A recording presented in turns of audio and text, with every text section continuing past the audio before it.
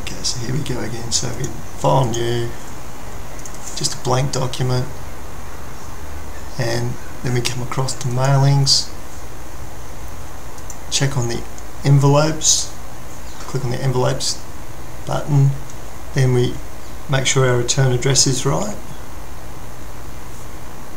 Then went over to options to make sure we've got the right envelope size and then the printing options to make sure that the envelope fits into your printer the right way and you'll have to trial that on your actual printer to work out how that goes.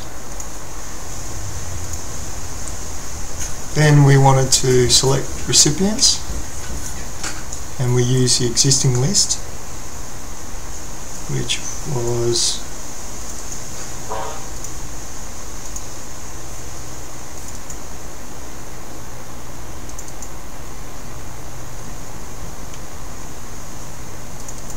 spreadsheets and it was new, new childcare centres. We're picking on vacation care. Then this is different to what we did last time. So we did um, start mail merge, select envelopes, hit OK, and that then changes the layout. Yep. Then we can click into the, uh, the center here, which is then we're going to click on the address block. Then from the address block we want to actually match the fields and make sure that um, what's on your spreadsheet matches with Word. So instead of being last name of a person, we don't have any people names, but we have company name.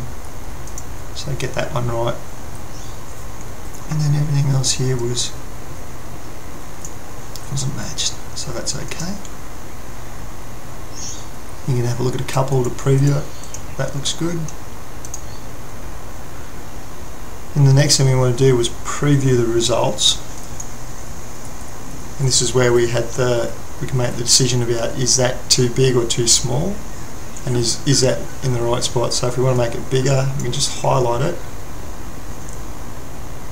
then go back up to the home home tab and I just grow the font however you want it Yep. at that size Yep.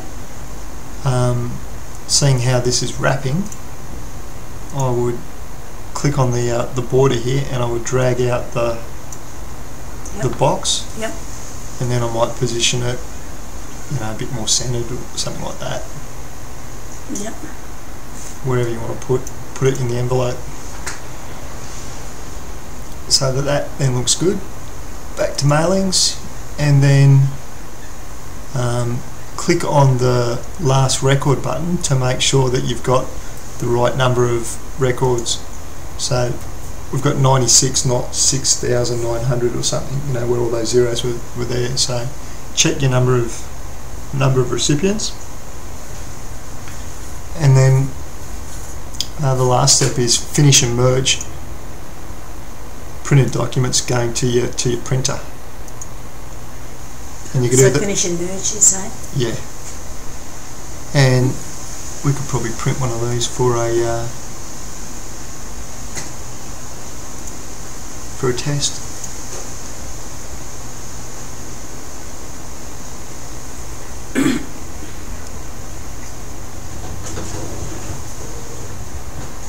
It's just on blank paper, but So then how do you go to put the next one? when you when you hit finish and merge, Yeah. hit printed documents, you could select all, Oh, okay. and it would print the 96 out. Yep. Yep. But we won't do that.